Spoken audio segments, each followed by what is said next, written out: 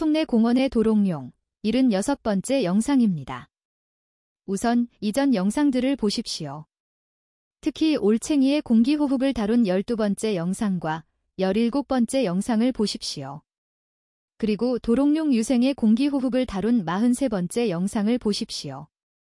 또한 스마트폰 동영상 촬영의 해상도와 초당 프레임 수를 다룬 29번째 영상도 보십시오. 양서류는 허파, 아가미, 피부 등으로 호흡을 할 수 있는데 종마다 발달 시기마다 다르기 때문에 대단히 복잡합니다. 2024년 6월에 송내공원 도롱뇽 웅덩이에 사는 올챙이들은 전부 또는 거의 전부 계곡산 개구리인 듯합니다.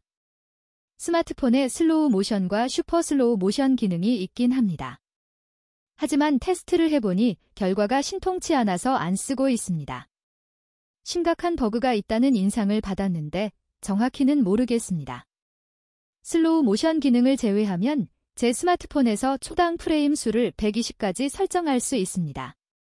이때는 해상도를 full HD로 설정해야 하기 때문에 화질이 4K UHD보다 떨어집니다. 하지만 4K UHD로 설정하면 초당 프레임 수를 60까지만 설정할 수 있기 때문에 슬로우 비디오를 만들 때는 약간 불리합니다. 초당 프레임 수를 120으로 설정하면 제법 그럴듯한 슬로우 비디오를 만들 수 있습니다. 올챙이가 가끔씩 수면으로 올라와서 공기 호흡을 하는 듯한 모습을 관찰할 수 있습니다.